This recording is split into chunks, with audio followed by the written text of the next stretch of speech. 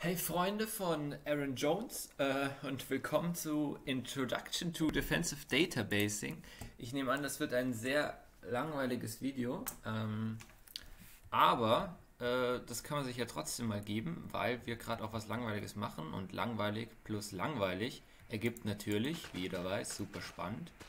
Ähm, nee, einfach Aaron Jones, äh, größter Ehrenmann, deswegen kann man von dem auch mal äh, ja, einfach alle Videos schauen und so. Auf, äh, auf ehrenguter Basis. Und dann würde ich sagen, äh, let's get started. Ach ja, wir sind hier auf Lasergurkenland. IP habt ihr ja gesehen, sonst ist die IP des Servers natürlich auch in der Beschreibung. Anarchie-Server ohne Regeln, die Stars. Ähm, ja, Alan Jones, let's go. Introduction to Defensive Databasing von dem Channel Brian Clough. Link ist auch in der Beschreibung. Oh boy. Ich hoffe, es wird ein bisschen advanceder, weil die Basics kenne ich halt wirklich in- und auswendig. We're going to identify two ways that database engines can differ. We're going to go over more than two, but I want you all to be able to identify two by the time this is done. Ich habe immer noch kein We're going to identify what SQL injection is. We'll go over the attack. We'll get sort of an example going. You'll be able to take a look at it, and then I will point you towards resources where you can actually practice SQL injection. So if you want to get a cheat sheet and sit down and actually try to break into some stuff, there's some interesting places you can go and some applications you can install locally to experiment with it. That doesn't require you to just spin up a database. There are tools online for training for this stuff. I'm going to identify at least one tool, but we're actually going to go over more than one tool used in PHP to prevent SQL injection, as well as other programming languages. And then I'm going to identify an organization that teaches about SQL injection.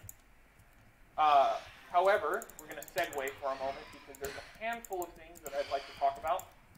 Uh, first and foremost is for those of you who have attended some of my previous courses where we discussed like the dark web and some of the places you can go to buy narcotics and where they're buying child pornography online and things like that.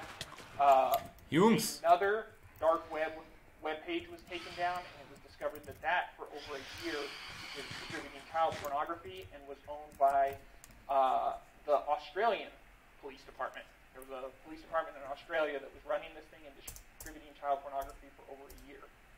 Uh, I definitely recommend for anybody who is interested in that class to sit down and look up the Australia scandal because this thing is probably going to grow. But uh, the, the fact of the matter is, the vast majority of the web pages that are on the dark web right now, as I mentioned during my course, are run by law enforcement. And the things that they're doing, uh, I have a serious issue with. I disagree heavily with them distributing child pornography through those channels or any channel at all. However, that's sort of the, the route that they're taking right now. So definitely look into it, take a look at what's going on, and that should be raising questions amongst people. How are these web pages being seized and lit so quickly?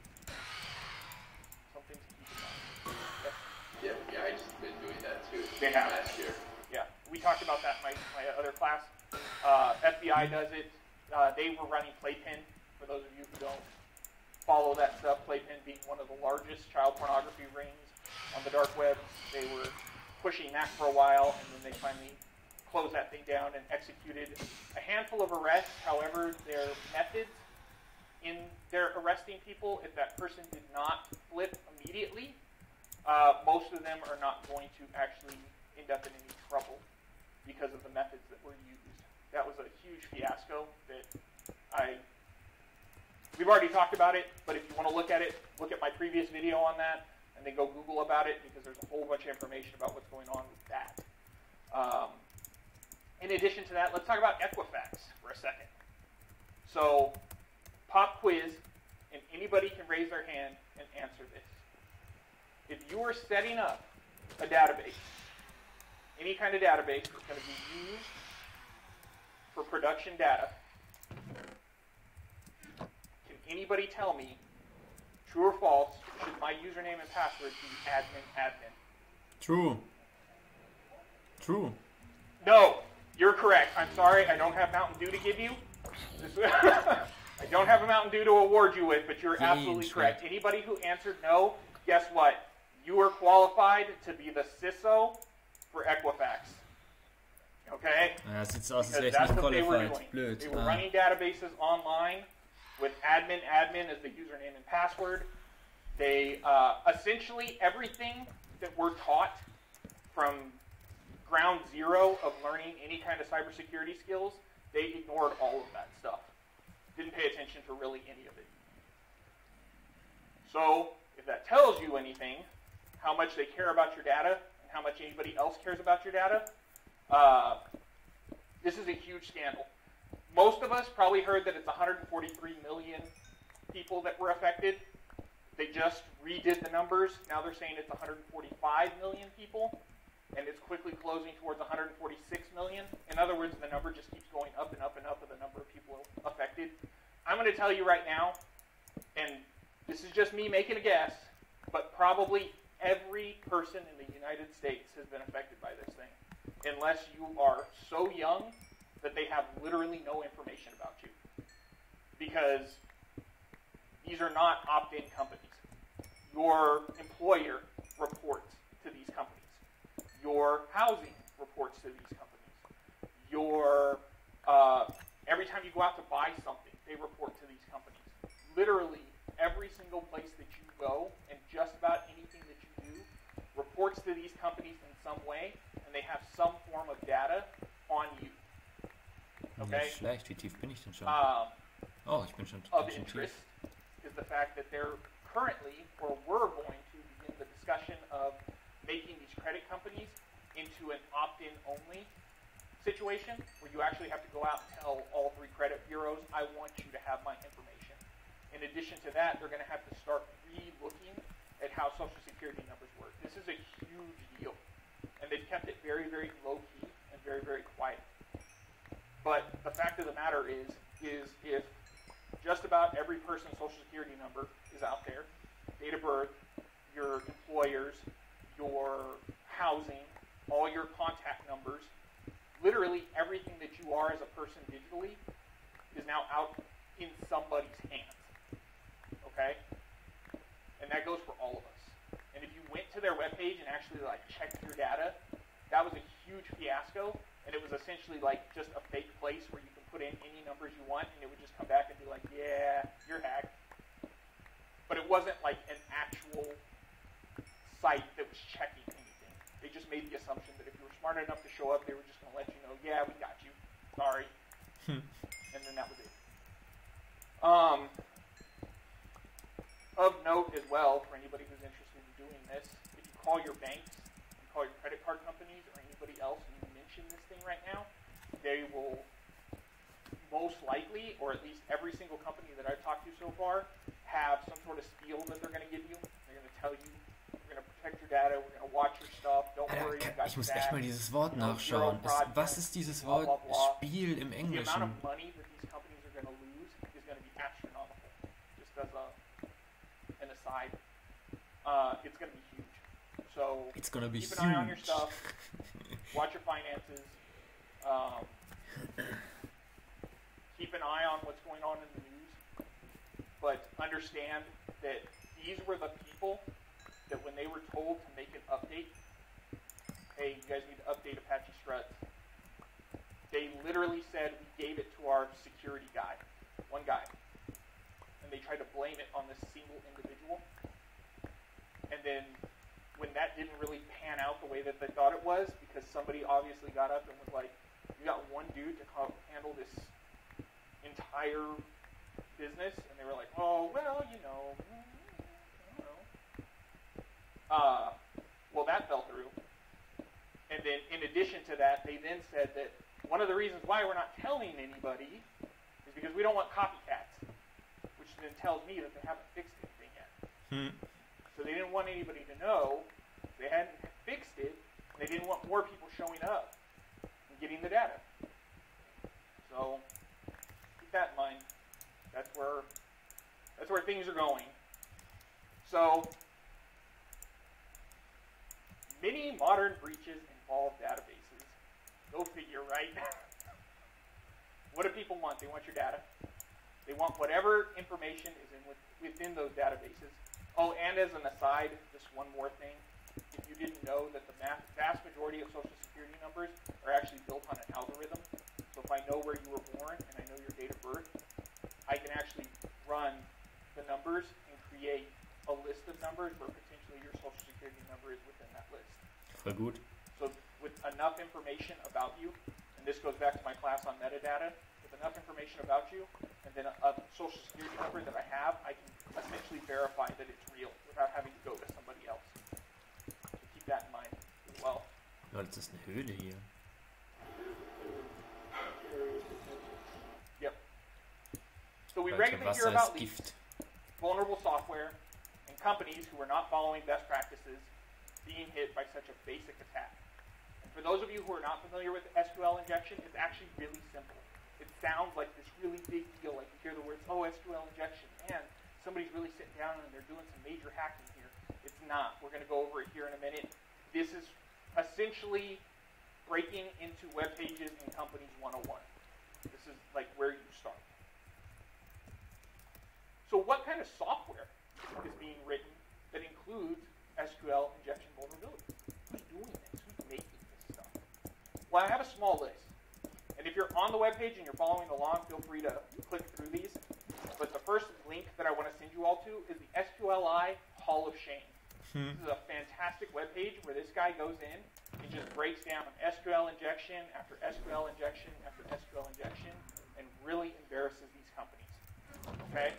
It is a fantastic list broken down by dates that you can follow along and see all of these people who have been hit by this. But let's start with the big one.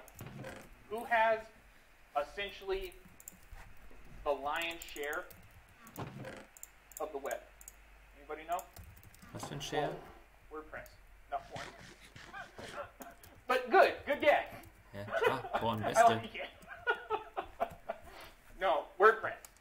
WordPress powers a lot of the internet. A But lot of does web pages WordPress power porn? WordPress, Okay. Oh. Well, guess what?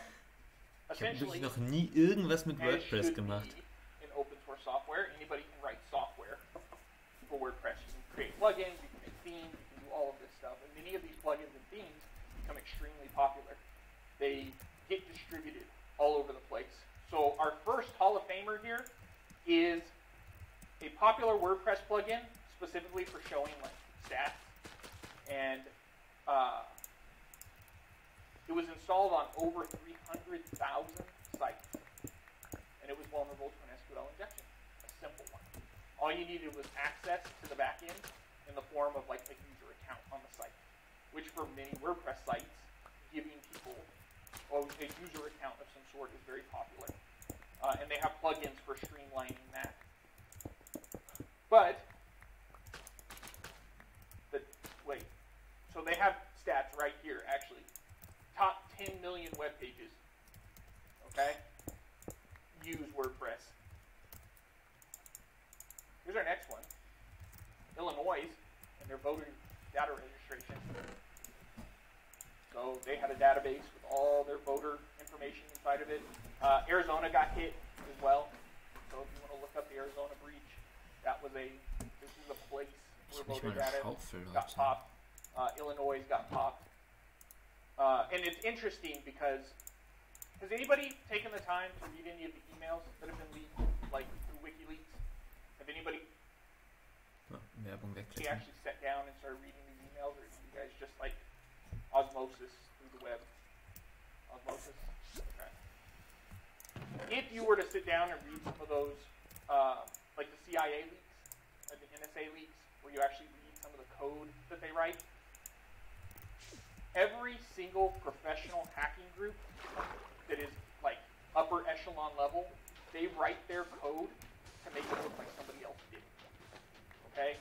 You don't break into a web page and then show everybody what country you're from. Because you're already providing metadata that lets them know where to narrow down their attack. If you get up and say, hey everybody, I am 100%, I don't know, Honduran, and I'm a Honduran hacker, and all my tools are in Honduran language. And when I break in, I leave messages about Honduras, and I do all of this stuff. Well, guess what? Eventually, somebody's going to go and contact Honduran authorities and say, hey, we need logs, we need to work with you. Hey, here's some IP addresses. These are trace elements that we have available to us. We want to tra- track this guy down. So when you look at like the NSA code, everything there is written in a specific way where they can actually go in and say, I want this to look Russian, or I want this to look Chinese, or I want it to look like anything. So when somebody gets up and tells me, well, Illinois got broken into and for sure it was the Russians. We know it because the code said, like, I love Putin right at the top. Like it was in all the comments. Uh-huh. And when I was like reading, like I could just tell the terminal smelled kind of like vodka. Like you see this stuff that they put when they're when they're talking about these things, but you can't actually trust any of that. Okay? When somebody says on the internet, you know, ASL, and somebody comes back and says, "Well, I'm a hacker. I'm 32 years old, and I live in Russia," and for sure, like, you can't trust any of it, right? AOL chat rooms, 101. So they decided to say Illinois chapter in the Russian hacking saga. Somebody broke in to Illinois data, dumped it, they're automatically blaming it on the Russians. Okay. But let's not. It's always the Russians. We got pot two. They decided to uh, add a new uh, component to the front end, and it was vulnerable. So Joomla gets popped. And remember, all of these CMSs, content management systems, when you see something like this, like WordPress was popped, Joomla was popped, Moodle was popped, any of these CMSs, this isn't just like one person. It's not a single person. This is code that was distributed to hundreds of thousands, if not millions of web pages. So they are all potentially vulnerable. And how many people do you know create a web page and do an update and then don't come back for years? When I was talking about Google hacking, quote unquote. They also call it Google dorking. You take a vulnerability and you dump it into Google, you hit search, and then it will just come back with site after site after site that's vulnerable to that that code. Same thing here. These web pages will sit around on the internet vulnerable and be used as jump off points for years into the future. You can go online and there are groups of people who uh, and a lot of these, again, it all comes from MySQL injection. But you can go online and you can find signatures. Free Syrian Army, Antifa, whoever your group of the month is, if they're, if they're going out and breaking into sites, they will often have a signature that will, they will include to show people how elite, what great hackers they are. So they'll copy and paste that signature and they'll dump it in so that it shows up on the front page. So you can go to these web pages get the signature, go and dump it into Google, and then it will come back and show how many web pages that they broke into. Okay?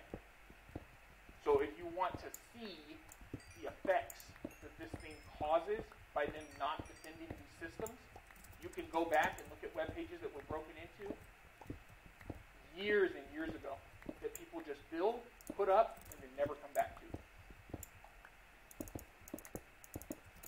But here's something that's a little bit more real.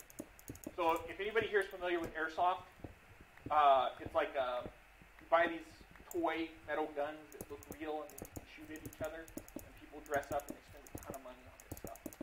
Okay, but in addition to that, it's also a lot of children. So it's people with disposable income, it's parents, and it's kids. Well, 65,000 user accounts got hit off of the Airsoft GI's forum. So again, 65,000 users off of a single site. And not all of that data is valuable. It's not. I'm not making the claim that there's 65,000 real people that are attached to this site. Essentially what it is is 65,000 accounts were made, and some of them are good, and some of them are useful. But just considering who Again, your audience there is kids, parents, disposable income, potentially not security orientated. maybe using the same username and password in multiple locations. It's a pretty good jumping off point to start with that data right there and then to start looking at other web pages to gather further information. Okay? This information alone is probably not worth a whole lot of money.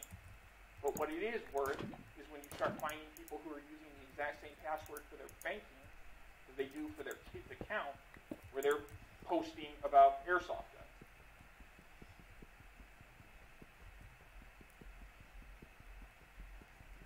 And of course, user IDs, usernames, email accounts, IP addresses, passwords hashed. And then they broke it down by Gmail, Yahoo, Outlook, Hotmail accounts. Tons of stuff here.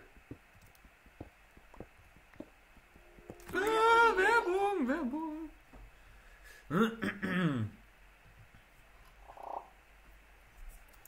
But it's not just Ja. Leute, ich weiß, ich brauche Okay. mal einen Adblocker und so, Here's aber ich will ja die YouTuber unterstützen. McAfee product.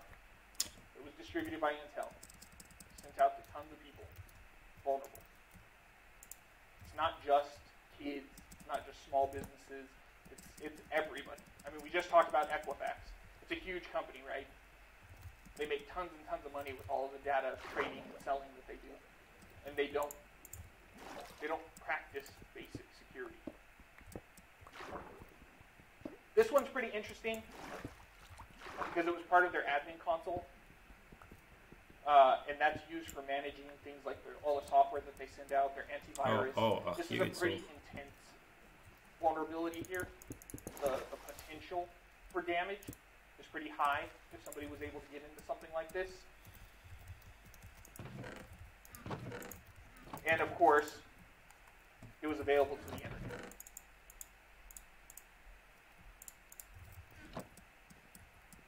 One more comment. When you are setting up a server, particularly a database server or access to a database,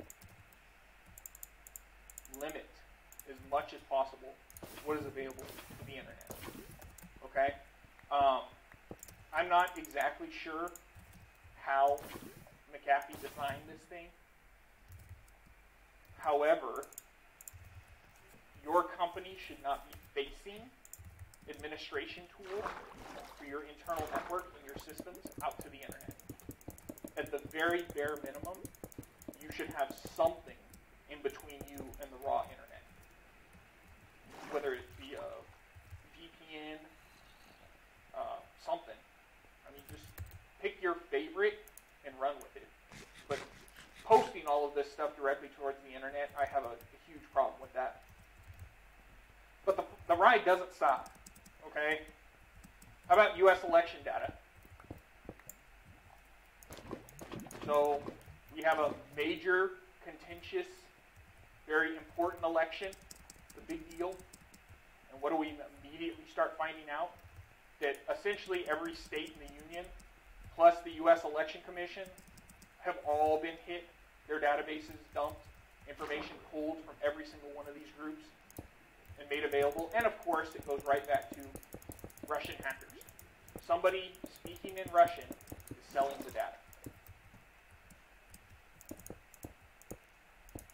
So, on my personal computer, both at home, plus my work computer, plus several other places, my computer can type in Japanese. That doesn't mean that I'm a Japanese hacker.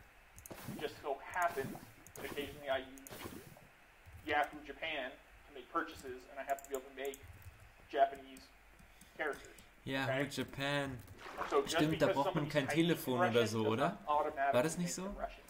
Boah, Leute, ich habe einmal versucht mit Yahoo Japan äh, mich zu registrieren und Leute, ey, dieses Capture da, also den, den You are not a Robot Ding, ne? Capture, ihr wisst schon, wo man halt so quirky durchgestrichene Buchstaben abtippen muss, so wie 1994, bevor es die Google Recaptures gab.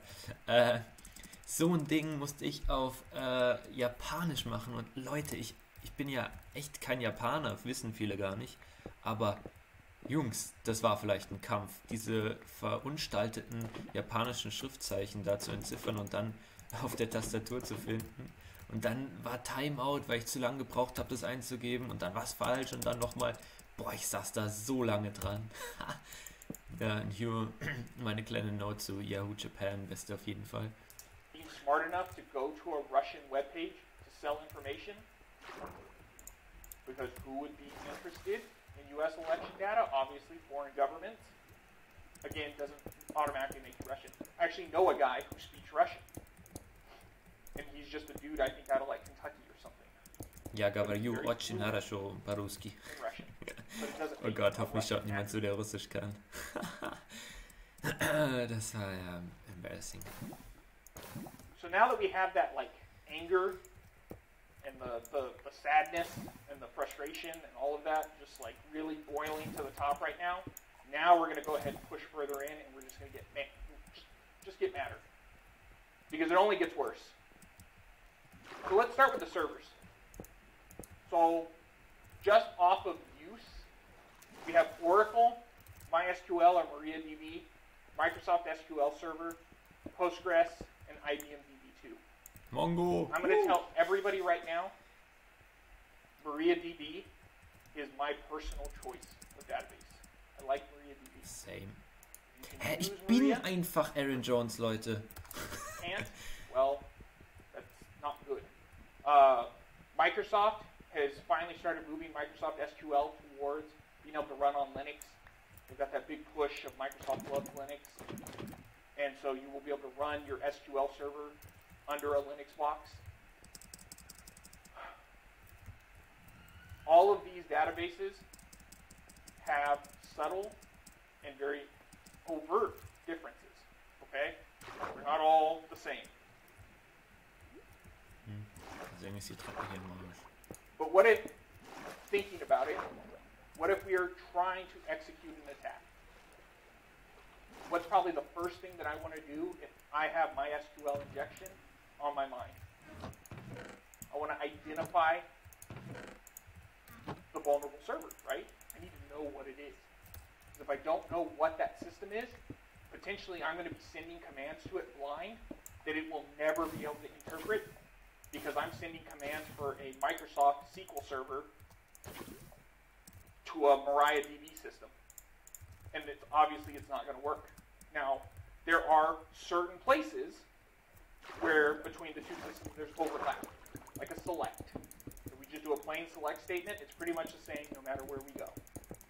Okay, select star from whatever, semicolon. We're done, right? However, syntax and the functions available identify two ways that database engines can differ. Again, syntax as well as the functions made available can all be different. In addition to that, we need to also think about licensing. Okay? Your agreements. What are you agreeing to when you use these servers? That's also very important. Whether you're honestly on either end, because you can usually make a pretty educated guess by the size of the company and what else that they're doing. If I look at a web page and at the end I see .asp, what are we thinking that they are? Windows. Windows. Microsoft Shop. So what am I going to take a wild guess and say that they're probably running as far as database? I heard SQL, Microsoft SQL. Absolutely. So just by looking at the web page, you can start making educated guesses. If I go to a a FOSS web page, you know, Richard Stallman, and I go check out his webpage, do you think that he's running Microsoft SQL? Yes. Probably not. Right? It's running Emacs. Was that exact? It's running Emacs. Ey.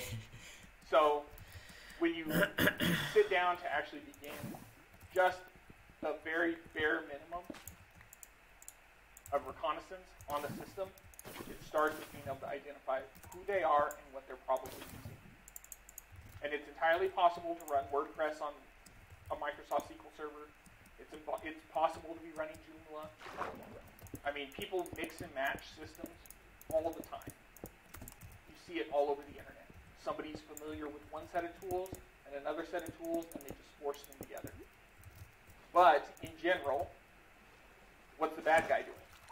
He's looking for low-hanging fruit, right? You want fast. I need data.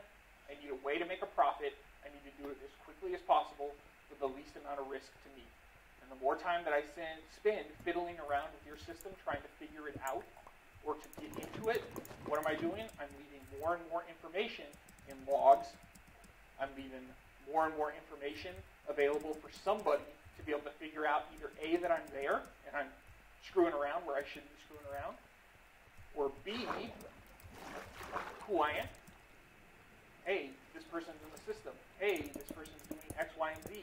Hey, let's leave them a way in. Uh, I think in one of my previous classes, I talked about setting up honeypots and building a system simply to get somebody to come in and screw Mhm. around in the system. so Ah, okay. Ja, damals hatte ich ja gesagt, what kind of stuff that they're trying to wer verwendet schon Honeypots für same thing with Defense, aber... have honeypots for databases. You have all kinds of different ways of Ach nee, warte, nee, darüber habe ich mich ja gar nicht beschwert. Honeypots aufsetzen war ja gut, aber Honeypots detecten fand ich ein bisschen meh. into the system so you can monitor and see what they're doing. But we're talking about these attacks, and we're talking about these systems, and we're talking about all of this information here. But the real question is, is what's the actual risk? So I set up a web page, and I set up a, a, a database, and I have some, you know, SQL statements that are being run. What am I actually putting at risk? Well, number one is destruction of data. What do people love to do? Drop tables. Bobby. Very first thing that a lot of people are going to try to do, particularly if that individual is motivated not by profit, but instead motivated motivated by either ideology or by the sheer fun of it. So if there's somebody who's trying to make an attack on a web page and they just want to like, oh, I got to show my friends that I was able to get into this web page and knock it off the internet. What's the first thing they're going to do? Well, they'll try to drop tables, they'll try to spill information to the internet, and then delete it all. Whatever that they can do to cause a scene. And for the vast majority of people, um, up until probably, I don't know, three to four years ago, I would say that was the threat that you were going to see. Somebody wanted to get in there and change everybody's name to Free Syrian Army. Somebody wanted to say, we are anonymous, we're Legion, you know, expect us. They wanted something on that web page to show people how hardcore they were. But we're very quickly moving away from that. And we're moving towards this era of profit, of getting into a system and gaining access because we want to be able to make money off of. And they're much less likely today to just drop all tables because what's the first thing that's going to happen is somebody's going to pick up the phone and say, hey, the system's saying no rows. What does that mean? Right. What's the next one? Breach of privacy. Hey, Equifax, they should have took this class. We could have talked about privacy. People want access to your social. They want access to your address. They want access to all of your shopping information. What does Google do? They follow you around the internet. They sniff your heels everywhere you go. Every single one of these companies is interested in you. They're interested in your shopping habits. They're interested in literally everything that makes you as a person. And we've talked about some of the separation between your metadata and who you are as a person. If I have just enough metadata, I can break it down well enough that I can pretty much identify you for you. And I can definitely do it well enough that it would hold up in court. If I had to get up and I had enough metadata about you, I could pretty much show a jury who you are. The way I want you to think about it is, so let's pretend everybody in here owns a car. Okay, so I know everybody owns a car. So that gives me every person in here. But how about a red car? That's going to very quickly shut the room down to a handful of people. And then if I know for a fact that those individuals, after they break into a web page, went out and bought seats for a 1997 red Corvette, and then I find out that there's one person in here with a 1997 red Corvette, I don't need to know who you are. I needed the metadata to be able to build a picture so that I can go to a jury and say, this individual right here owns a red Corvette. It's a 1997. They bought new seats. Here's a picture of the inside of the car. They bought these Sparco seats. Check it out. I'm sure this is my guy. And you get up in front of a jury, and you can put all of that information together, and you can get somebody to say, yep, that's the person. And that's all it takes. Someone bought, you know, I read, uh, red sparkles, okay? Uh-huh. And then, I mean, how do you show that that the person that did that is this person instead of that person? Oftentimes it goes back to, are they, so, actually, you know what, I'm going to give you a real example. I'll break it down by a real example. They had an individual who was on the news recently who was arrested for stalking young ladies on the internet. He was doing cyber stalking. Okay? This guy religiously used Tor VPNs to hide his tracks. Alright? So, since he was using Tor and he was using VPNs, they weren't exactly sure who the guy was. However, he had communicated with these young ladies and given them enough information that they had a suspect. They still didn't have enough data to go out and say, okay, yeah, this is the guy. So the first thing they did was they went to a VPN provider because they had the IP address, and they said, hey, even though you're a no-log IP place, this guy is using your services. Can we get some logs? And they said, well, we're a no-log VPN, so you can most definitely have these logs. Here they are. and they gave up the logs. And so then they had IP addresses, and they knew what web pages he, were, he was going to, and they had further information. So that's all metadata that they can use for this guy. So using the car example, probably a bad idea, because it, it seems loose, but with enough information, eventually you can track that person down, obviously. But even if you're using VPN, if you're using even if you're using all those tools, doesn't really matter. Again, going back to people are putting sites up on Tor, and within days, they're being caught by law enforcement. And then clipped and then used as part of the sting within days. So I'm going to take a wild guess and say somewhere there's a problem with the whole Tor hidden server. Because I I have a hard time believing that every single person who's ever essentially set up one of these hidden services has been a 100% screw up. Like it just seems outside of the ordinary. Which, it, in all honesty, it could be. It could be true.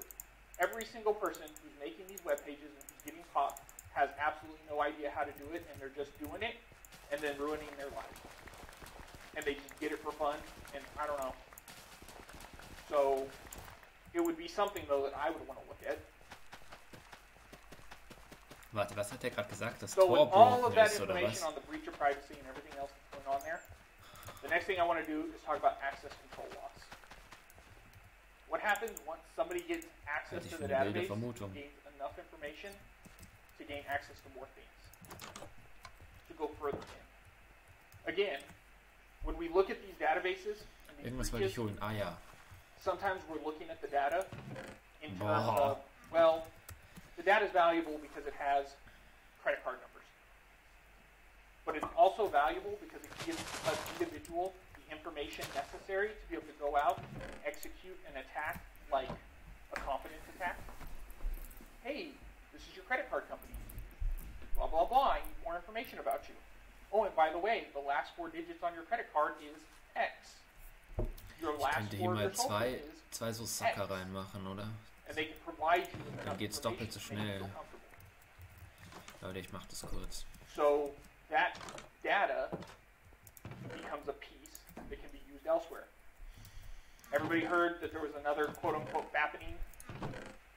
They leaked more sex pictures of celebrities. No. So they did it once and they called it the fappening. Uh, these individuals broke into like, well, don't look it up on our network. Wait till you get home, okay, guys? but so let me take a step back here. Does anybody know who Paris Hilton is? What's the Okay. most famous dog? What's Paris. Hilton's dog's name? Nobody? ich What? hab ihn auch wieder vergessen. Tinkerbell. Ah, Tinkerbell. Okay? And I know this because I'm a cybersecurity person. Watch, it's important. All right? so, Paris Hilton has a dog named Tinkerbell. Paris Hilton took a lot of pictures of herself with her dog named Tinkerbell. Paris Hilton was in magazines with her dog Tinkerbell. And guess what? They put Tinkerbell's name in those magazines. So, an individual, an aspiring individual, got a hold of Paris Hilton's phone number and then contacted her phone company and switched her SIM card. What was her security question? What is your dog's name? Tinkerbell. Oh, you know the security question. Fantastic. We'll just switch that SIM card for you. They then had access to all of her contacts. So they leaked her entire phone database.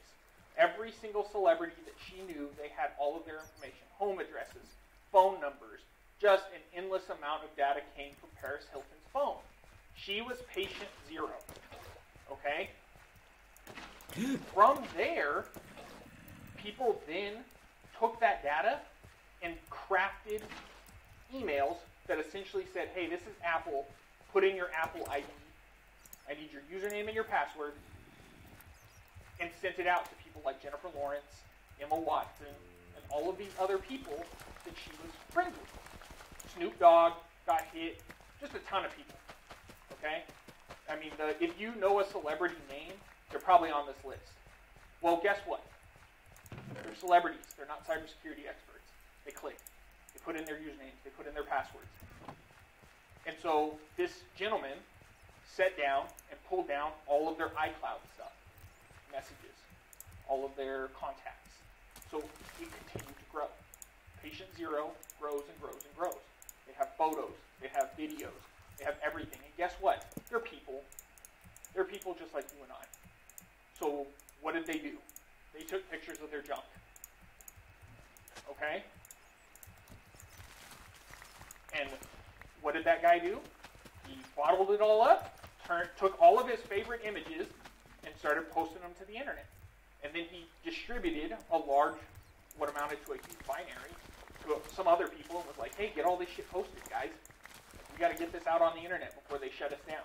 He's going to prison, and the other two guys that helped him are also going to prison. Okay? They didn't get away with it. However, that's why now when you go to Google and you type in the fappening, you can find all of these images of all of these celebrities nude. Because it all started with Paris Hilton's phone being dumped many, many years ago, and that guy went to jail. But he distributed that database of information. Aber ich meine, heutzutage, gerade was Bilder angeht, das ist ja eigentlich auch schon länger so, so ein geleaktes Nacktbild ist doch eigentlich, ist doch eigentlich nichts wert. So, sagen wir mal, einfach, wie man das faken kann. Ähm, ja, was ist denn groß der Unterschied? Also, ich meine, man kann immer abstreiten, dass es echt ist. Klar weiß man für sich selber, dass es echt ist, wenn ein Bild von einem geleakt wurde. Aber gerade wenn man eine Celebrity ist, dann äh, macht sich doch, egal bei, bei ab einem gewissen Bekanntheitsgrad, macht sich immer irgendjemand die Mühe und photoshoppt ein Nacktbild, was dann erstaunlich echt aussieht. Und ob das jetzt ein echtes ist oder eins, das echt aussieht, ich finde, ja, also ich, ich will das jetzt nicht verharmlosen, aber ich meine nur, dass mittlerweile eigentlich ähm, gerade als, als so Bekanntheit, auch wenn noch keine Nudes von einem geleakt wurden, nehme ich an, dass man von jedem irgendwie Bilder findet, oder? Oder liege ich da falsch? Und ähm, wenn jetzt noch ein paar echte dazwischen slippen, I mean, who cares, oder? Also, klar, nein, ich, ich will es nicht verharmlosen, aber ich will nur, falls ihr eine Celebrity seid und zuschaut, ne, vielleicht beruhigt euch das ja ein bisschen. äh, ja, mal wieder hier gute mir an der Stelle. Weiter geht's. Guess what? It's metadata. And it's enough information out there for you to be able to identify these people and then to provide them with something that looks real or legitimate enough that you can then get more information. And it's a, it's a famous example of exactly what we want to avoid here. Okay? Because what happened to them could happen to any of us. Absolutely any person in this room. Also ich auf Apple Mail klicken, Leute. have a situation where they have stuff on their phone that's private to them and important, but can be pulled by somebody who's doing exactly what they're doing. Okay? So access control loss. You could lose access to your server. You can lose access to your database. You can lose access to your phone. You can lose access to pretty much anything that you have that you care about. Want somebody gain access to the database. But what about avoiding it? Okay? We have all these problems, we have these issues, and we have all of this stuff that can potentially happen to you. But how do we stop it? Where does it begin? So, not last month, but the month before that, I did a little course, and it was called Introduction to Defensive Programming. How many people do you think showed up? I did. Like six people? Was nur so Yes. wenige. Those of us who work at the Chandler Police Department actually showed up for that because I had to teach it. But there was like six people who showed up for this thing. Okay? And it sounds boring, right? Introduction to defensive programming. That sucks. Where's all the VPNs and the high-speed hacking and like the dudes who are breaking into uh, voting machines and stuff? Like that's cool. That's high speed. That's fast. Defensive programming that sucks. Who wants to actually type like make and install and config and stuff? And guess what? It goes back to that. For you to stop my SQL injection, the only way to stop it is for you to stop it at the programming level. That's it.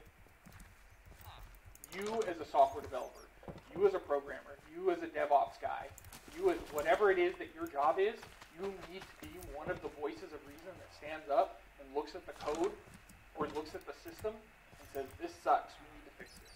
This is bad. We have a problem.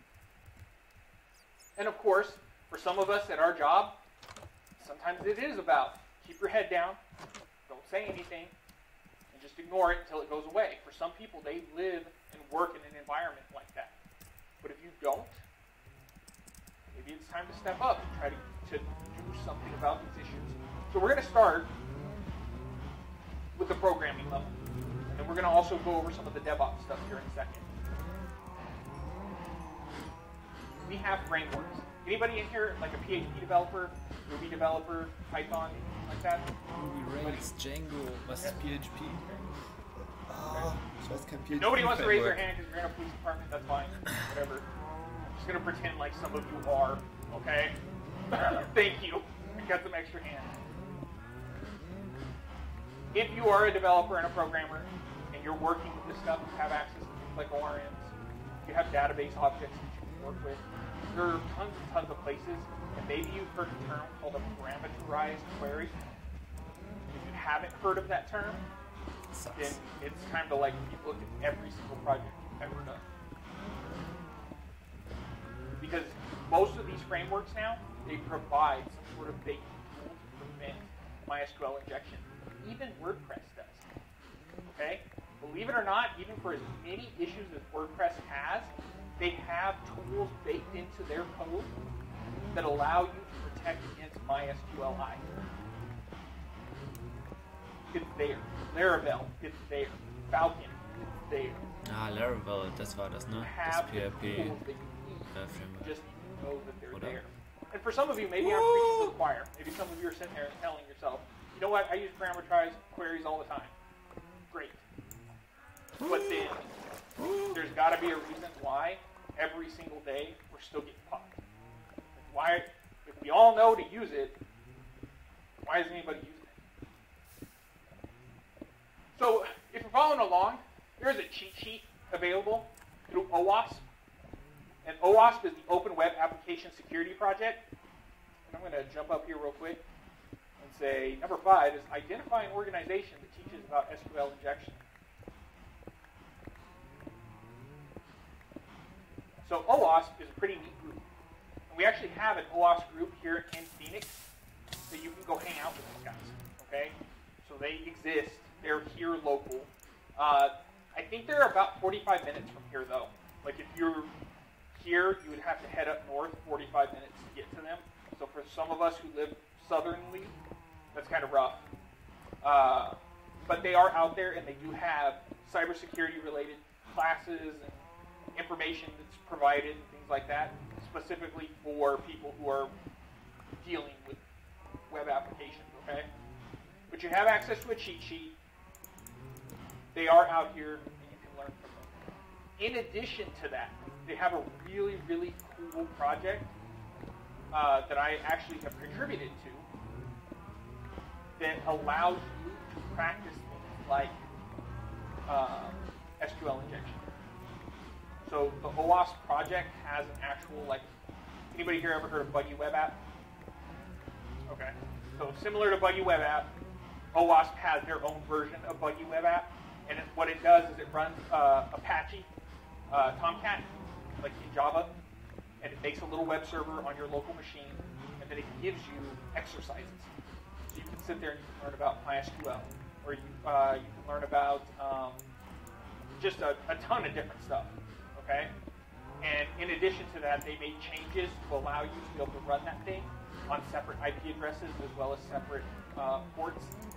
And that was where I came in to make that happen. That's more.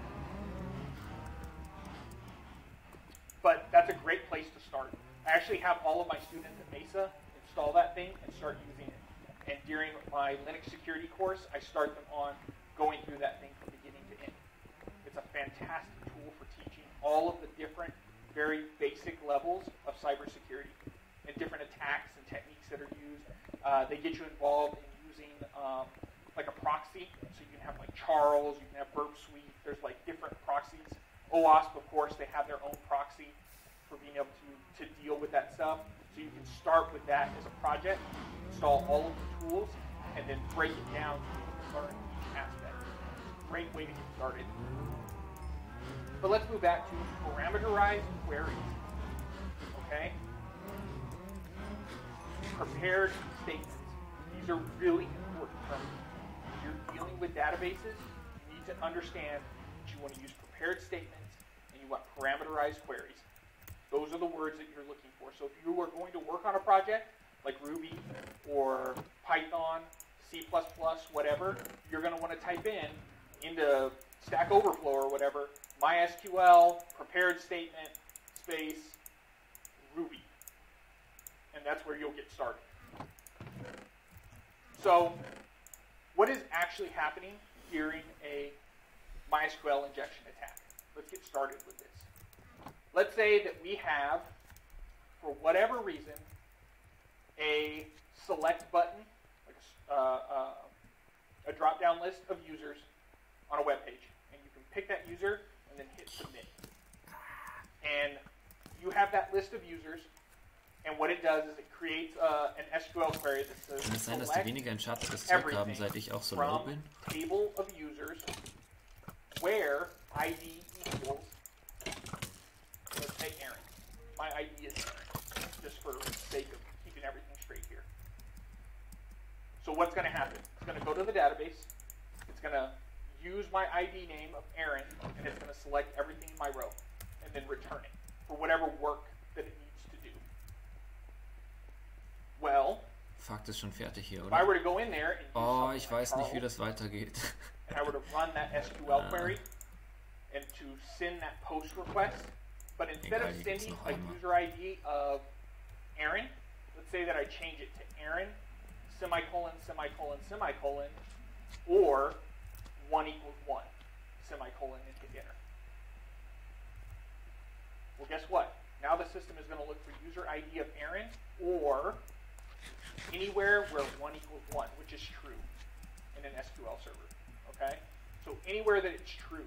So what we just told that system to do to go in grab every single user from the user table and dump it to wherever it's going to go. Okay? So if you're not handling that information correctly, guess where it actually goes? Yep, goes straight to the page. The person pulls it down. which obviously that's a bad idea, right? So what are people doing? They're going to web pages and they're surfing around and they're looking specifically for variables that they can change or manipulate and submit in an attempt to make the database do something that it's not supposed to do. You want to give it either 1 equals 1, or you want to make any kind of other change to that information in order to get it to spit things out. Have you all ever seen a web page that uses jQuery to um, stop you from putting weird stuff in the inputs? Frontend ist Like halt you go to a phone number and you start to type in like letters and it just won't go in. And what they're using is JavaScript and most likely jQuery. And they're just keeping you from doing things. Okay? But it's all on the front end. You can turn all that off. And then at that point you can start putting stuff directly into the boxes. But again, that's why you move using something like Charles or something similar. And the reason why you do that is because it's much faster. And remember, when you're first learning, and especially if you start using some of this OWASP stuff, a lot of it's going to consist of you putting things in by hand inside of a little input box and then hitting submit just to see what happens. That's where the that's the baby steps. But eventually, it becomes an automated process where you start employing software specifically designed to start experimenting individually with each one of the variables that are available and continuously inputting different information in attempts to get something different. For you. Okay? So the real pros, the quote unquote pros, they're not doing it by hand. They're not typing in semicolon, semicolon, semicolon, one equals one, hit enter, wait. That's not how it works. Okay? These are just examples. So let's look at a prepared state. This is actually one right up here. So what we're doing is we are creating the SQL query. We're making an insert. And it actually looks better on the, like, we go here, it's all in the code right there so you can actually see it, but it's very, very hard to see, especially in the back. So if you're following along, it's much easier for you to see it. Uh, but the first thing that we're doing is we're making the SQL query and we're telling it these are the places where variables are going to go. Okay, we want to insert into this database, and during this insert, I'm going to give you a first name, I'm going to give you a last name, and I'm going to give you a value uh, of email. Okay, so these are the these are the items you're getting from me, and then the next thing you're going to do is start binding the parameters, and you're going to say, hey, these are strings, these are uh, your whatever it is that you're you're submitting to it, okay? Once you set your parameters and you execute this thing, then you can give it the actual variables and you send it on its way. It is extremely important that you know what's going into your database, you know where it's supposed to go, and you have a very good idea of how big that stuff should be. Okay? Let's start with names. Do you think anybody's name should be two, three, four megabytes in size? Hmm. Can you guys think of anybody who's got a name Ich that noch nie Names in Right. Megabytes gemessen. Maybe Wieso nicht in Let's Zeichen, say that they are literally the print of some country out in Europe, and their name is maybe 140 characters long, tops. So what are we going to do? We're going to choose maybe varchar 255, just for safety, if that. As you design and develop your database, so let me take a second here. Yes, if you are an application developer, guess what? You're probably also going to need to be a DBA. Of us? You need to understand how a database works. You need to understand what goes where. You need to understand like timestamps. You just save all your timestamps as varchars? Or do you go in there and actually set like a timestamp box? You have a lot of choices as you work on your database. And all of that is going to affect how you build this stuff. These prepared statements allow you to input information in a known manner. I can say, hey, give me your name, and no matter what they put inside that box, theoretically, even if they did 1 equals 1, if they did a select statement in there, no matter what attempts at SQL injection that they put in there, at the end of the day, what's going to end up happening is the system is going to make an attempt to insert the actual text, that text alone, directly into the database. So sure, somebody's name is going to become Aaron, semicolon, where or 1 equals 1, select, so on and so forth. And it's going to have some kind of weird information in there as they Bobby to manipulate the database. and it will try to just input that directly into that table. Which means we still need to protect the data by cleaning it. We need to make sure that it's safe. Okay? Uh, there's escaping input validation. We're going to get to all that here in a second. We just talked about the jQuery stuff. Somebody can go in and they can say you can only put certain things in certain boxes. But guess what? At the end of the day, we can turn that off. We can still manipulate that.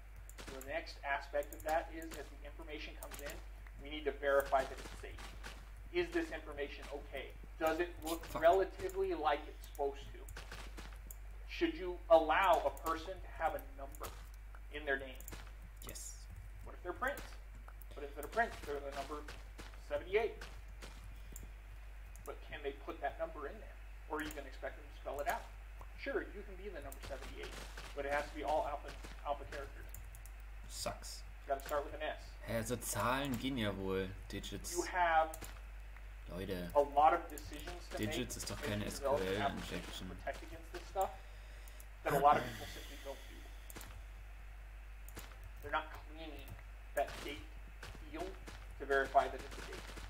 They're not checking to make sure that it's a well-formed telephone number. A lot of people are not checking whether or not your email address is safe. Uh, for a while, my bank, one of my banks that I work with, um, they were actually checking for very specific domain names. Like if you were Gmail, you were cool. But I run my own domain. So I have my own email server. I have my own domain. I have all of this stuff. So when I would type it in, it would be like, oh, you can't do this. This isn't real. Yeah, it's real because I run it. But it, no, it's not Microsoft or Yahoo or Gmail or anything like that. And so they would get upset about that. But all you had to do was go in because the check was actually in jQuery. So I would right click and von der then I would take a look at inspect code and it would come up and then I could actually remove all of the stuff and then hit submit. Essentially I was SQL injection in, doing an SQL injection into my bank to get past like the thing that prevented me from using that email address. Yeah. So that I could get in. Direkt Anzeige ist raus, oder? Because if they're not doing any kind of validation on the back end, which obviously they were not, then you can still get past that. And it's not hard. Literally everybody's browser here, if you have a computer, you have the tools to execute these attacks. So the next one is stored procedures. This one gets rough, and I kind of don't recommend this on account of the fact that if you ever change databases, it could potentially cause you problems. Because let's say that we're going from Microsoft SQL to MariaDB, your stored procedures are potentially going to be different. And so if your ORM doesn't handle that for you, then you're going to have to go through and make changes. And that's not good. Because that's where you start making mistakes or getting fast or getting rushed and having problems. And eventually you introduce issues into your code. Whitelisting. This is part of what you need to do. It is not what you need to do. Parameterized queries, okay? That's what you need to do. Whitelisting essentially means you can set certain table names, certain column names, there's certain information that you put into somewhere hard coded into your code, and you say, if X doesn't match this, kill it. If you're having to use this, you can most likely refactor your code to remove it. Okay? There are changes that you can make in your code to make it where you don't need to whitelist things like tables or column names. It shouldn't be like that. You really shouldn't be letting your users make decisions on what table name or column name that they're interacting with. But for sake of completeness, we cover it. And then finally, escaping content. Anybody ever work with WordPress? Underscore ESC. Lots and lots of different ways of escaping uh, content under WordPress. Uh, depending on what ORM and what tools you're using, a whole bunch of them also have different ways of escaping. Any data that's coming out of your database needs to be escaped. Database, any information coming into the database oftentimes needs to be escaped, but using parameterized queries, it's still safe, usually. But if you're going to allow people to write to the database, you want to escape any content that comes out of that database. Because you are potentially adding uh, cross-site scripting as a vulnerability to your system. If I go in to your application and I type in JavaScript code and I submit that JavaScript code and it is saved to your database and later your database pulls that information and then presents it to the user, oftentimes that user's browser is going to run that JavaScript code. And it can be as benign whenever you work with the OWASP stuff, you do like a hello world.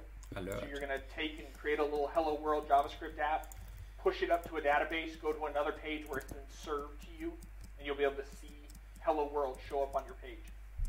Now, obviously, you can use that to move further along. You can execute grander and bigger attacks once you can start running JavaScript on somebody's computer. There's a lot of ways of manipulating that. So we want to sort of whitelist our acceptable content. We don't really want to use anything like string concatenation if we can help it. And we want to make sure that anything going in or out of the system is escaped. We want to know what's going to be served up to the user, and we want to make sure that only our JavaScript is being served to the user. Uh, a really interesting one is ad jacking. So using JavaScript, you can actually post code to a web page where essentially you put a little film over top all of the ads, and then you gain the profit from somebody clicking on those ads because you're overwriting that person's ads, and then the person doesn't know that that's happening. I mean, essentially anything that you can do to manipulate the DOM, obviously you can do it with JavaScript. But if you're doing it to somebody else, Irgendwann werde ich dann noch sterben, one of the ich sag's methods euch. they use is that. Anybody ever play World of Warcraft? Everybody's heard of somebody getting their, their account stolen. Go to certain web pages, um, particularly World of Warcraft fan pages, and they use JavaScript to install some sort of keylogger, and next thing you know, you're trying to log into your account, and you can't do it anymore, and they've stolen your account, wiped out all your gold, taken all your items, so on and so forth. That's essentially the first step towards making somebody learn about two-factor. Give a kid a World of Warcraft account, let them go surf around on a World of Warcraft webpage so their account gets jacked. The next thing you know, they're asking for a, a UV key or a RSA key or installing an app on their phone Leute, ich habe gerade eine ultra kranke Idee. die, ist, die, ist, äh, die ist echt ein bisschen fishy. Aber ich meine, das Problem bei diesen Sachen mit den World of, äh, World of Warcraft Accounts hier, ja, ist, dass die Leute ihr Passwort reusen. Ne?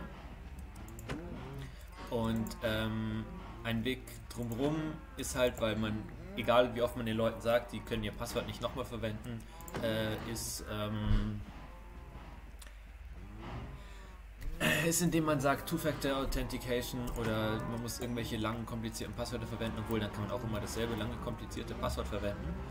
Aber man könnte doch mal bei der Registrierung, wenn jemand ein Passwort einsendet, dieses Passwort direkt irgendwie am besten gehasht oder was auch immer, irgendwie sicher in irgendeine so Leak Database reinpacken, sowas wie been Pound oder so. Und wenn das Passwort ein geleaktes Passwort ist, dann äh, darf man sich nicht registrieren. Und ein Schritt noch kranker wäre halt, wenn man dieselbe E-Mail-Adresse bei anderen Portalen probiert mit dem Passwort. Also das wäre, es wäre Ja, okay, es wäre heftig. Okay, es wäre nicht cool, aber ne, ihr wisst, was ich meine. So, ich gehe jetzt zu, ähm, keine Ahnung, Gmail und äh, will mir da einen Account registrieren. Äh, oder sagen wir nicht Gmail, sagen wir, ich gehe zu World of Warcraft, okay? Ich registriere meinen World of Warcraft Account. So, und dann gebe ich da meine E-Mail an und dann geht World of Warcraft ähm, im Registrierungsprozess zum Beispiel zu meinem E-Mail-Provider und gibt da mein selbes Passwort ein. Und wenn das funktioniert, dann sagt er, ha, du kannst dich mit diesem Passwort nicht registrieren, du verwendest das Passwort schon für deine Mail. Ähm, ja, wäre in gewisser Weise krank und äh, wenn falsch implementiert, sicher auch um einiges schlimmer als davor, aber es wäre halt ein Step in die Richtung äh, Passwörter nicht releasen, oder? Vielleicht, ähm, wenn man nicht eine riesige Organisation ist, sondern nur eine kleine Person und ähm, sagen wir mal, man so in seiner kleinen, in seiner kleinen Webseite Konkurrenzwebseiten hat, die ähnlich sind, könnte man das vielleicht bei denen Jawohl, dann macht man bei denen einen Request und wenn die dann das mitlisten, dann, ja, dann haben die die Passwörter. Nee, also, ja, die Idee ist vorne und hinten nicht durchdacht, ist mir nur so durch den Kopf geschossen. Aber das mit der, äh, mit der Datenbank ähm,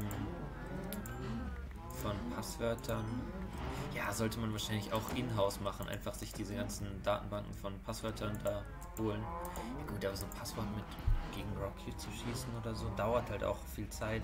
I don't know. Also, keine Ahnung. Ist, ist eine Idee. Vielleicht könnte man das auch ein bisschen in Frontend machen und dann den User die Rechenpower. Ja, aber musst ja auch die ganzen Datenbanken mitschicken. Ach, keine Ahnung. Also, ist nur so eine Idee. Ähm, keine Ahnung, wie, wie sinnvoll das wäre und wie umsetzbar. Aber ja. Ich meine, es gibt ja, äh, es gibt ja so ein paar Passwörter, die oft gebannt sind so Passwort 123 oder sowas kann man ja oft nicht verwenden. Es geht schon in die Richtung, aber ja. Okay, das war's mit meinem wöchentlichen äh, Exkurs und banaler Idee, die absolut keinen Sinn macht. Weiter geht's bei einer Stunde und fünf Minuten. Aaron Jones, Introduction to Defensive Databases. Äh, Databasing. The next thing is least privilege. again, this is going back to DBA stuff, being a good database administrator, but we want to go with least privilege as much as possible. Everybody understands the concept of least privilege, right? Only want to give access to what you need and nothing more. Okay? Do not let applications connect to your, your database for root. That is bad. Your application should never connect to your database from root. Nobody needs access to root. Everything that you build should be built in a manner in which that is not a necessity. Because what we're worried about is user rights, resource permissions, and privilege of elevation mitigation. I don't want you to get into my database as root and then immediately be able to move around inside of that database to other applications. Many of us will run a single copy of MariaDB or another system and have a whole bunch of applications that feed off of that, right? Different databases and then tables within those databases. It's all hierarchical. So you don't want a single weak application to give somebody access to literally everything. In addition to that, you want to make sure that your resources are controlled. You know what makes me mad? when I'm reading and it says the first time we knew that there was a problem was when server use spiked 100% and sat there for six months. And we were like, dang, that's a lot of server use. Yeah, that we that should not happen. Okay? You should be monitoring your logs. You should know what's going on. And barring you being brand new, and having only been at the job for a few days, you should also be able to understand very quickly just by looking at like HTOP, hey, what really goes on with this system? Oh, well, usually we sit at about 25% CPU usage. You know, RAM, we've got a caching server on there or something. So RAM is usually super full. Understand your hardware. Anybody ever been in the military? A couple of us? Sure? Cool. You ever, like, actually look at your rifle and you kind of know where all the parts are and what it's supposed to do and if you move the safety, like it shouldn't just like spin in a circle? Like, you have an idea of what your equipment should do, how it should behave, how it should look. Same thing with your server. You should have an idea of what your server does on the weekends. What does it do during the week? If you see a spike in use, why? If your database is getting hammered, somebody should have picked up the phone and at least warned you. Hey, we're going to be doing a massive database dump, or we're going to be doing X, Y, or Z. And if that behavior is outside of the norm, shut it down. Scream test. Pull the cable, and when somebody comes up and says, "Hey, hmm. something's broke," we were doing X. Well, then why did you not tell me? It's hard for me to imagine. Oh shit, auch im Weg gefeuert zu werden, Leute. And maybe I'm spoiled because I can go to my DBA guy and I can be like, "Hey, this is what I'm going to do. I'm doing X, Y, and Z, and this is what's going to go on, and stuff might be slow because I'm going to hit the Elastic Stack and blah blah blah." And then they go, "Okay," and we have communication. But a lot of places, I guess, don't, because it's shocking to me that somebody wouldn't find out that there's a problem or wouldn't even know what's going on with their hardware until it's been sitting at 100% CPU usage for hours, days, weeks, or months. That's an issue.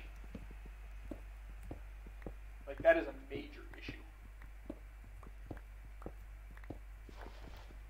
Again, whitelisting. If your application needs a single table, guess what?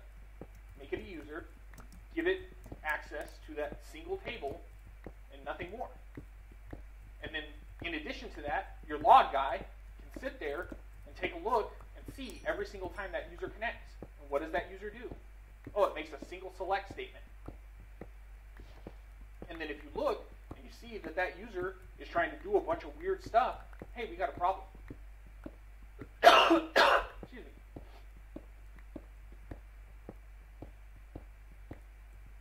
Do not let your systems become a vector for intrusion to other systems. Bare minimum. Just don't don't let it happen. Pay attention to what's going on with the computer. Let's talk about code review for a second.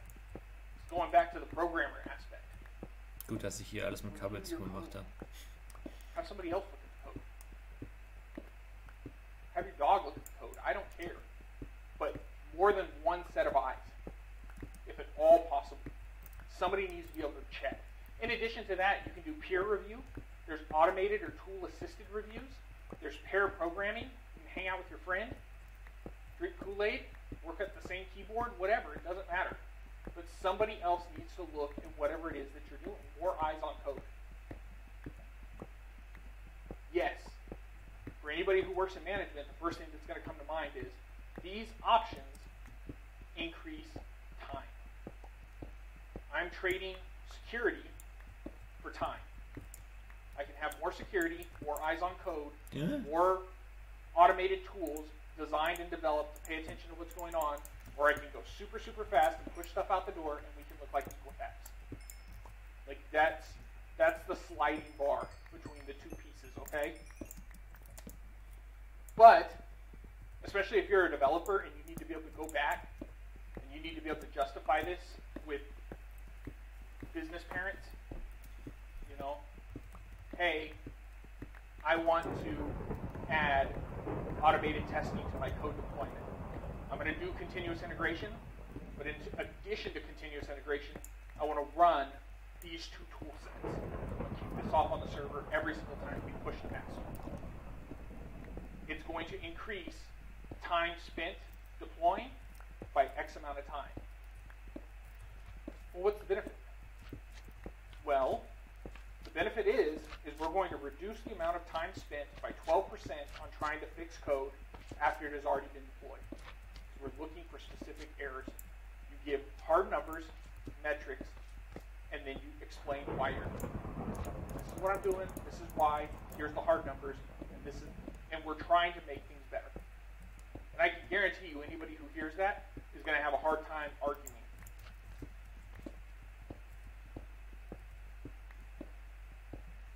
anybody here do any kind of continuous integration? Build your software, make sure that it's automatically deployed. You have different levels, maybe a dev, testing, and then finally a, a deployment to master.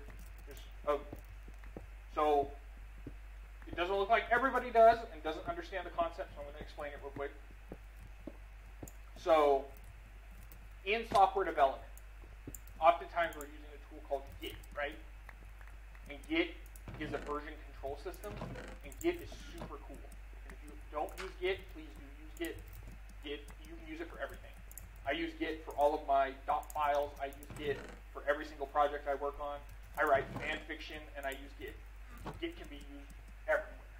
Like, I don't care what you do. You can use Git. Even if you're an artist, you can use Git. Git supports binaries. So you can push art directly into Git. And if you're running your own GitLab server, you can push images up into Git. And you can have version control on your like binaries. Ja, aber da sieht man die Diff So natürlich Git, nicht so schön, aber ja, kann man machen. Well, ich auch, aber, there's a thing ja. integration. So as you push things to Git into a repository, like let's say dev, you can say every time I take new code and I put that code into this repository, I want certain Ist hier actions genug Platz? Nicht wirklich, oder? and those actions could be tests, they could be uh, linting, and linting is a term used for essentially you have a system automated that goes in, looks at the code format and style, and fixes things. Turns spaces into tabs, tabs into spaces, stuff like that if you need it. Um, what's that? Echt fixt der Linter? Oh, Ich dachte, der Linter wirft nur Fehler, oh oder? don't get me started on Vim and Emacs, man. Hm. Uh, any of these items can also be integrated with your security tools. So let's talk about testing now. If you're writing software, generally you should also be writing tests for that software. We create a function. That function does one thing and one thing alone, that function should expect very specific uh, input. So if I have a function called hello world, and hello world accepts a string, and that string is somebody's name, and then it should output hello world Aaron, or hello Bill, or hello Nate, or whatever, whatever name is supposed to come out of that thing. Well, guess what? Now I know what kind of input I should be expecting at any one time. It should be a string between 1 and 255 characters, maybe, because that's as big as we're going to allow to go into the database. We're starting to look at this in terms of how big should variables be allowed to be? What should they look like? Am I going to allow somebody to say hello phone number and add a phone number in there? So I have choices. But let's say that I've already decided no. It's going to be a name, it's going to be alphanumeric characters, and it's going to be UTF-8. Can't get super funky. So I can check for all that stuff. And I can set up a test Ich hatte doch that literally says this function from any of these names should be good to go, but any of this other stuff should fail. This is what a success looks like. This is what a failure looks like. And then every single time I write code, I can test that function and make sure that it is functional. Haha. Does it work? Work the way I expected? And what happens if I do weird stuff with it? If I start getting strange with my code, is it going to warn me? Well, ich habe so viel Lava gesucht. for stuff like Das vorher, also, oder I can go in there 17 and I Folgen vorher und jetzt finde and ich sie überall. queries in there. And I can test for SQL injection. Or I can use automated tools. And I can kick off automated tools as part of the job. So if I push the, the testing server, I could run something like Nikto, N-Stealth, Web Inspect, a whole bunch of different stuff. And I actually have a very good link in here that I'm very happy with. And I don't know if anybody noticed, but I try to archive.j, uh, archive.is all my links so that they live. So no matter how late into the universe you come back to this thing, hopefully it'll still be here. But one of these links will actually take you to a, a web page that explains in pretty good detail automated security testing. And what we're doing is, is we're making it a part of the process of software development. And now this is where this super chaps my ass, like a lot.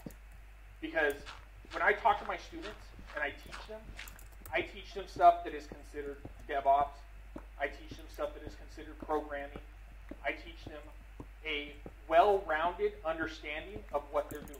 You got to be a DBA. You got to be a security person. You got to be a computer programmer. You got to be literally everything.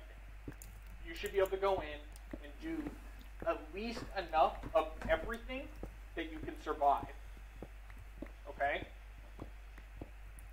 You don't have to be a DBA certified person, but you better know how a database works if you're going to be working with web applications. When you go to companies and try to get hired, the thing that I hear often is, well, we don't really know what you do. And it becomes an issue in terms of, so you're a programmer, but you're also a DBA, but you're also able to work on a server and you deploy it on Elastic Stack and so on and so forth. And you have all of this stuff that you've done, but we really don't know how that fits. Um,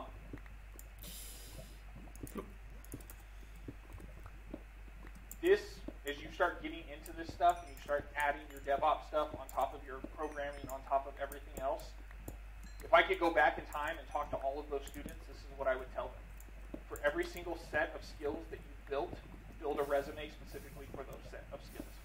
Okay? So for your computer programming stuff, build yourself a computer programming resume. For your server side stuff and your DevOps things, build a DevOps resume. And for each one of those set of skills and tools that you have, you can have some overlap, obviously. If you're a web developer, you need to be able to talk about your LAMP or your LEMP stack. But you need to break it up for each one, and you need to use the appropriate one. One of the things that I teach my students is uh, how to take binaries and back them back out into assembly, then to go through the assembly to look for like strings and code. And in my mind, when I look at that, that tells me that you understand how binaries work. It tells me that you understand how the code works. It tells me that you can look at a system and you have a pretty good idea of how the stack works, how memory works. It gives me, as a, a developer, an idea that you can do a whole bunch of stuff. And when I've sat down and talked to hiring managers and explained to them, I'm teaching my students X. And I'm teaching them this because it makes them more well-rounded. They have more skills. I've had more and more of them tell me, I literally have no idea what this stuff is.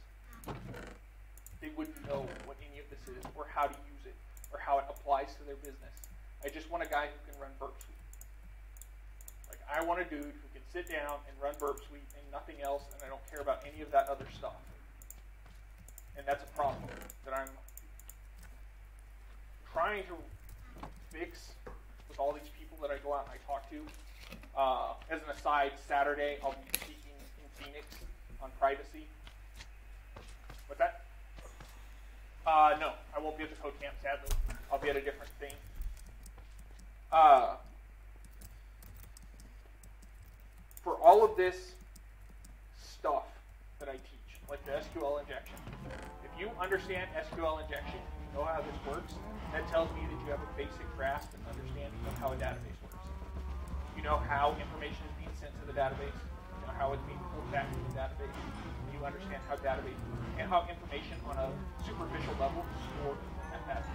Like I, I pretty much guarantee if you have a grasp of that one concept, I can go over a long list of other concepts that you would be able to deal with. A lot of people don't understand this. they don't know. They don't, they don't know how it works. Nothing. And I'm having to come to grips with that as an educator who's trying to put people into jobs and positions. Uh, one of my favorite tools is Nikto. It's pretty neat. It is a web server scanner. It tries to do a lot of heavy lifting for you. It tries to figure out what kind of web server they're using, what kind of database they're using It gives you a whole bunch of information. Uh, if you're a DevOps person and you're trying to set up your system to keep people from being able to fingerprint your server, guess what? This is a great thing to put into the continuous integration rotation. Make Mm. sure that any changes that are live are not going to start instantly revealing information about your system that you don't want. Jesus, Leute. It's one more set of tools in the long list of different tools that you can be deploying that you can add to your rotation of stuff that you use.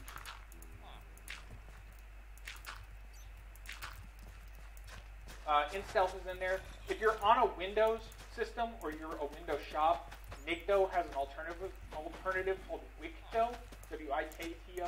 It runs under Windows. Uh, I'm real big, and everybody who knows me has been my students. What do I do? Command line.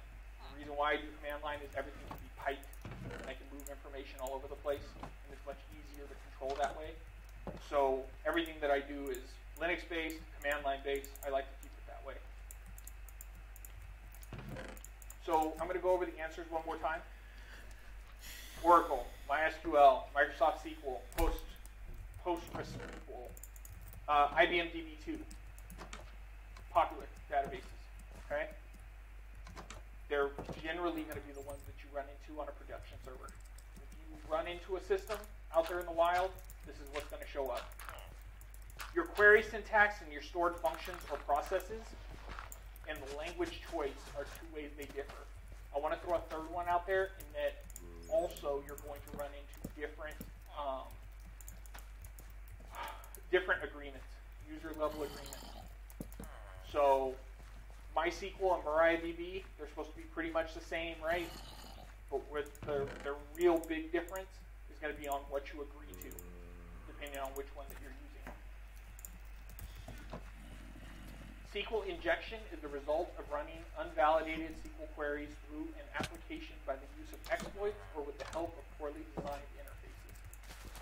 Sounds super fancy, but really all it means is somebody put some characters they shouldn't have put into an input and hit submit.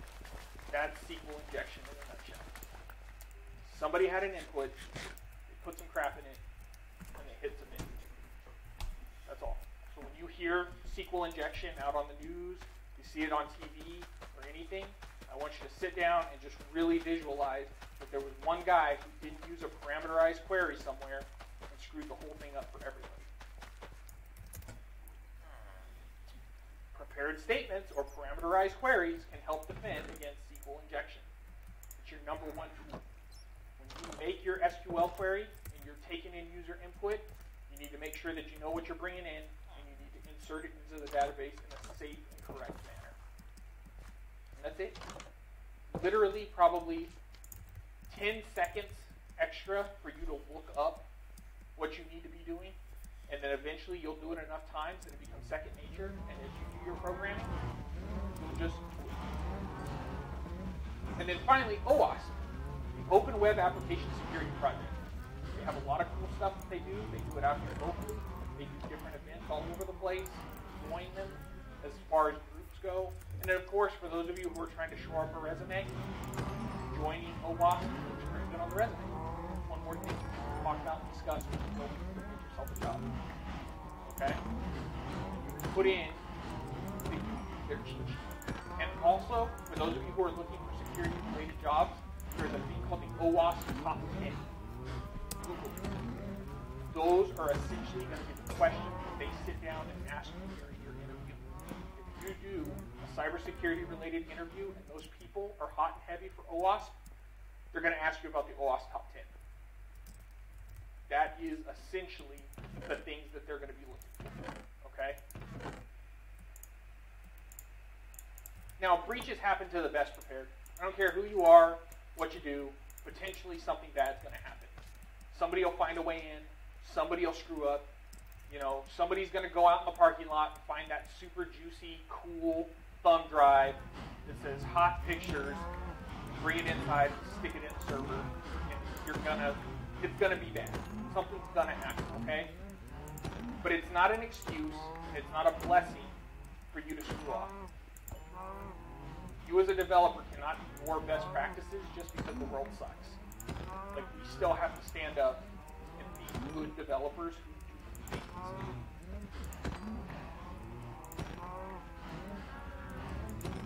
Develop your software in the most secure method possible.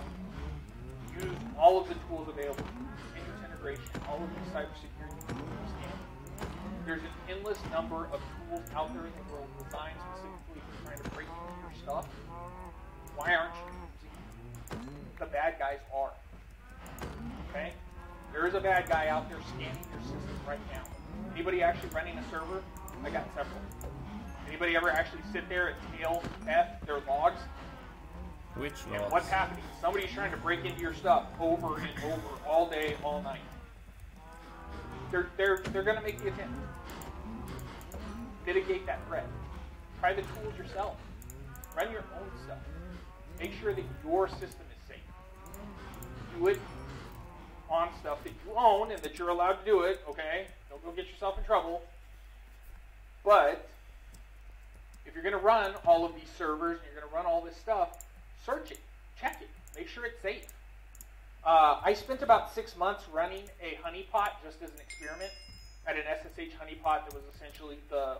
I had set up the password as admin password 01, and I actually had to change the password to admin password because people were not breaking into it.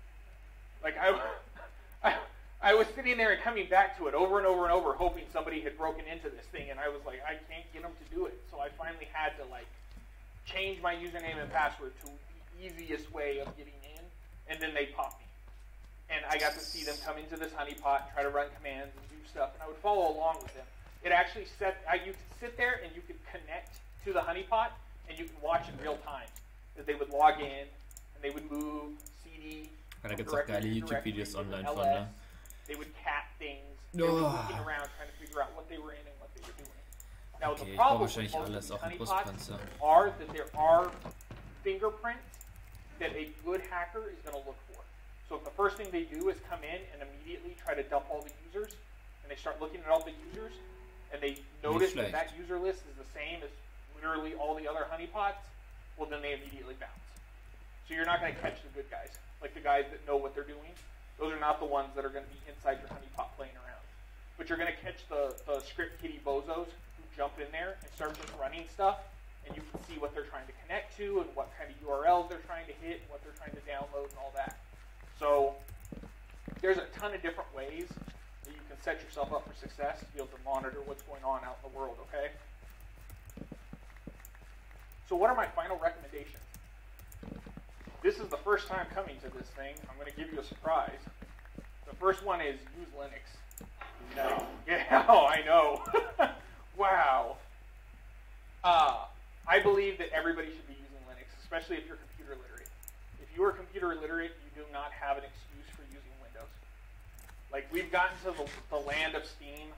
Like, all my visual novel point and click games are available on Steam now. Like, all of that stuff is there, okay? Get off Windows, stop using Windows, and move over towards Linux. Like, get on the Linux train. Like, Ich everybody mal Hühner do that. für Level, oder? Was sagt ihr dazu? Review your code, and we also need to foster a positive environment for improvement. Wie wär's If the code sucks, tell somebody. Raise your hand and be like, hey, this this code, there's problems. Here are the problems. Everybody here can learn some tact. We don't have to hurt feelings, but we should definitely be in there helping each other. I review code at work all the time, and my coworker and I regularly tell each other when stuff is wrong. Okay? Don't take it as a personal affront. Work together to make things better because remember, you're not doing it for you, you're doing it for your customers. You're doing it for the people who are entrusting you with their information, and you are the gatekeeper for that data. Take care of it because you don't know when that person is going to be the next Tinkerbell and Paris Hilton, and somebody's going to be posting pictures of their dog on the internet, you know, naked. Right. Their naked dog is going to be on the internet, okay? So don't let that happen. Set metrics. Let's perform testing. Set those metrics. I want to reduce calls for service by 12%. The way I'm going to do it is X. I want to reduce the amount of time spent refactoring code by three hours a month. How am I going to do it? Well, I could just quit. I could like, well, I'm not going to refactor code anymore. There, you met the metric. Hmm. or we can actually improve our code base. We need to pay attention to what's going on in the system and we need to start fixing things and we need to work together to do it. For those of you who work in software development jobs, going back and telling everybody, hey, wouldn't it be really cool if we could reduce the amount of time spent working on old stuff so we can make new cool stuff by, you know, 50%. Make 50% more cool stuff. And everybody goes, yeah, I want to make cool stuff. How are we going to do that? Well, guess what? We're going to sit down and we're going to discuss the problems that we have. We're going to fix some of these security issues. And we're going to get this stuff into continuous integration. We're all going to sit down and we're going to write the continuous integration tests that are necessary to automate this entire process here. And then we're going to move forward towards new, more cool stuff. Encourage all team members to think security. Every single person here is a gatekeeper. You are your own keeper. Okay? Your system, that's you. Your server, that's you. Your phone, that's you. Your home, that's you. Okay? Do we have a homicide prevention team or a homicide investigation team?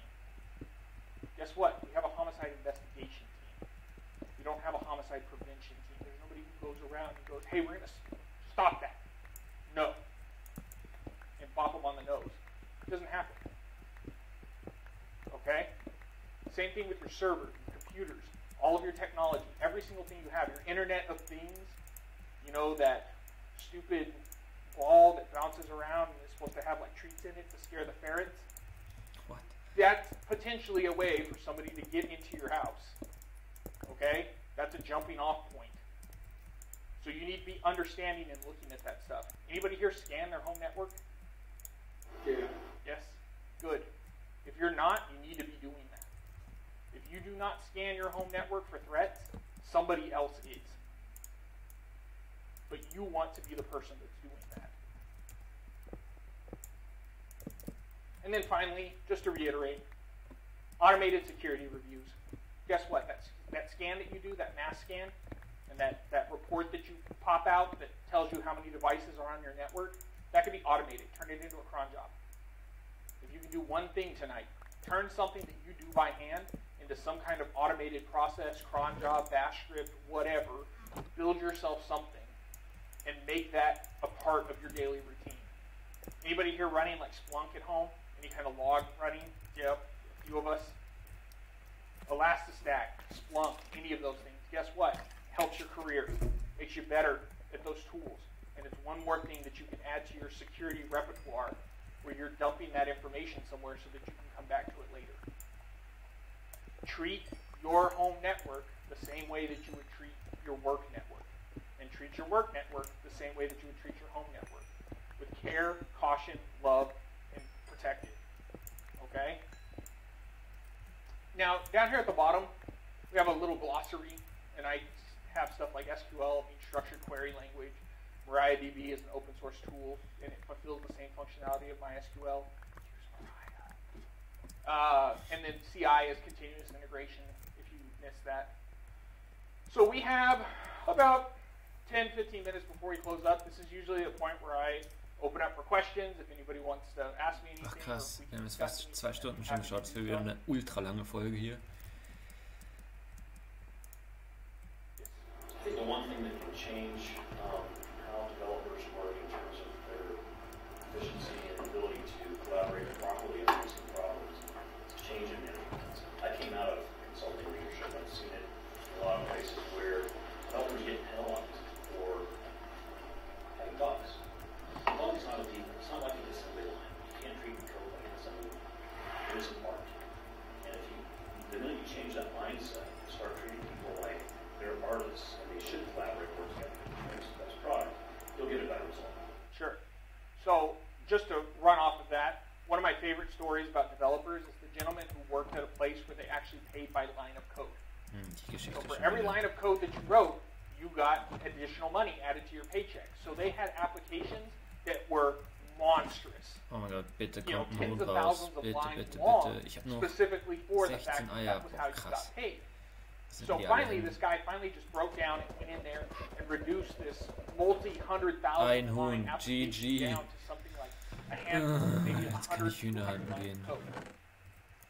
And the whole point was, if the leadership and the people who are in charge do not treat the, the job as as the way that it should be, in terms of, hey, let's let's make things small, let's make them compact, let's make them intelligent, and everything needs to be done correct. But if you encourage other metrics, people will exploit that.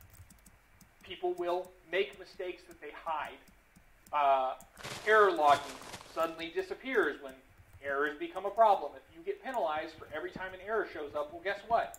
All those errors are going to start heading to dev null. Because for every single thing that you try to, to uh, penalize or punish for, there is a workaround to it.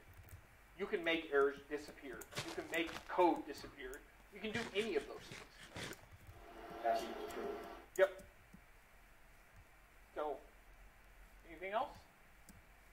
Gib mir ein Ei. You ever read that um, that web app penetrations handbook? And noticed it's a big ass book by the dudes that it's the web app web app penetrations handbook. It's just like for the um, hackers handbook, but it goes through and lets you go through everything with OWASP and practice everything and explains like kind of very idiot proof. Okay. It's a really good book. No, I haven't. I haven't read that. I've uh, so the question was posed whether or not I've read one of the OWASP books. Essentially, what I do is I take the, the actual Irgendwann muss was- ich's echt auf die Harte Web App? durchspielen, Leute, Uh. I set that up, and then I work people through that from beginning to end. Now, some of them are broken. Some of the lessons on it are broken, and they'll actually say at the top, "This lesson does not work."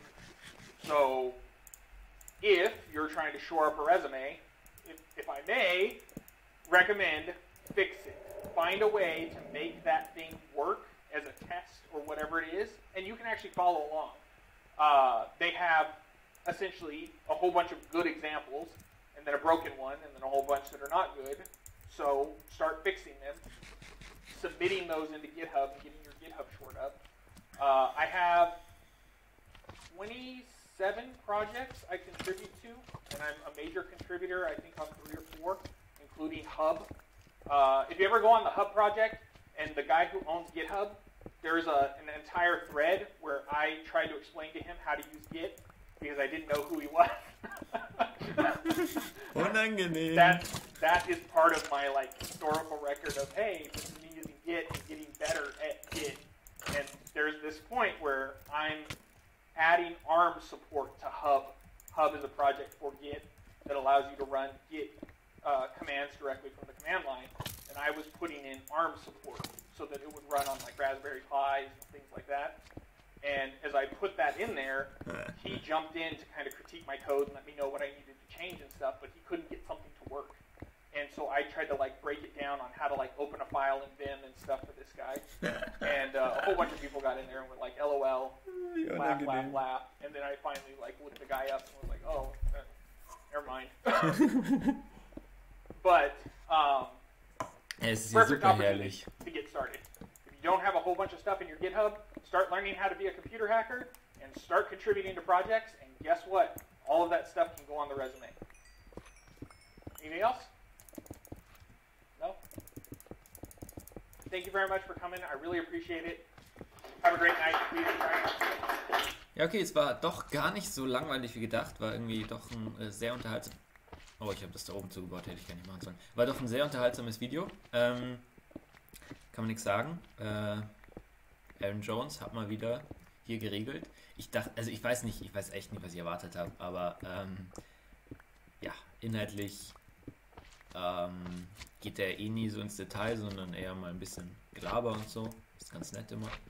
Ähm, ja, ich hoffe, es gibt noch ein Video zu schauen, denn ich äh, bin noch nicht zufriedengestellt mit meiner Daily Dosis Aaron Jones.